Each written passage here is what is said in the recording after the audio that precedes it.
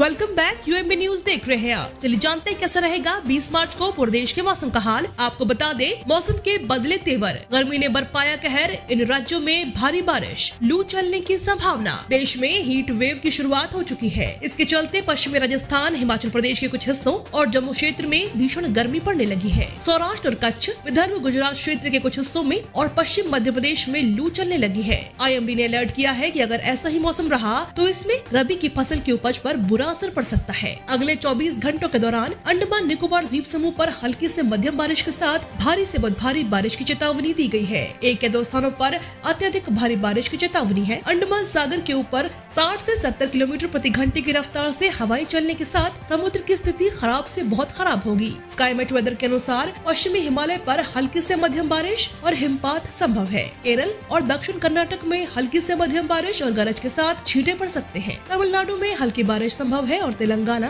आंध्र प्रदेश के साथ साथ हिमाचल प्रदेश और पूर्वी असम में भी हल्की बारिश हो सकती है। चक्रवाती तूफ़ान का असर। ऐसे में जब इस साल का पहला चक्रवात आसानी बंगाल की खाड़ी के ऊपर बन रहा है, अंडमान और निकोबार द्वीप समूह का प्रशासन अलर्ट मोड पर आ गया है। आपदा प्रबंधन तंत्र को हाई अलर्ट पर है। उप राज्यपाल से सभी स्कूल और कॉलेजों में 19 और 21 मार्च को अवकाश घोषित करने का भी आग्रह किया जा रहा है। भारत मौसम विज्ञान विभाग का अनुमान है कि 20 मार्च की सुबह तक बंगाल की खाड़ी के ऊपर बना निम्न दबाव का क्षेत्र मज़बूत हो जाएगा और 21 मार्च को एक चक्रवाती तूफ़ान में तब्दील हो जाएगा। विभाग के अनुसार यह चक्रवात अंडमान निकोबार द्वीप समूह की ओर बढ़ेगा और 22 मार्च को बांग्लादेश, उत्तरी म्यांमार के तटों पर पहुंचेगा। और अब चले यूपी के मौसम की ओर। उत्तर प्रदेश में मौसम लगातार शुष्क होता जा रहा है। भारतीय मौसम विज्ञान विभाग के अनुसार इस सप्ताह तक गर्मी और तेज हो जाएगी। वही तापमान में तीन डिग्री सेल्सियस से अधिक की बढ़ोतरी दर्ज की जाएगी। अगले दस दिनों तक मौसम साफ़ रहने के आसार है। आई के अनुसार आज राज्य के अलग अलग इलाकों में हल्के बादल छाए रह सकते हैं। हालाँकि बारिश की संभावना बहुत कम है। मध्य प्रदेश के पाँच जिलों में चल रहा लू का प्रकोप शनिवार को भी जारी रहेगा।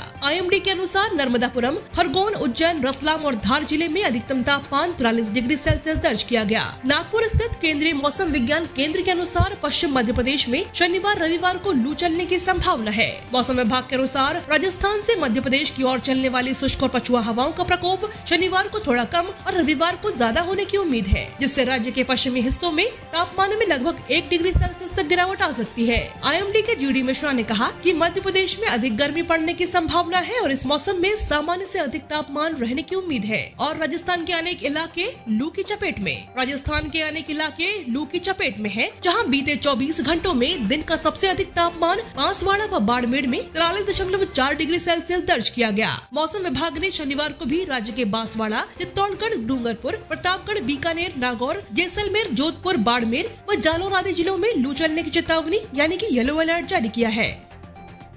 ये जानकारी आपको पसंद आई हो तो वीडियो को लाइक करें और अपनी प्रतिक्रिया ज़रूर दें। चैनल को सब्सक्राइब करके बेल आइकन को भी प्रेस कर लें। हम आपको हर रोज ताज़ा अपडेट से रूबरू कराते रहेंगे। देखते रहिए यूएमबी न्यूज़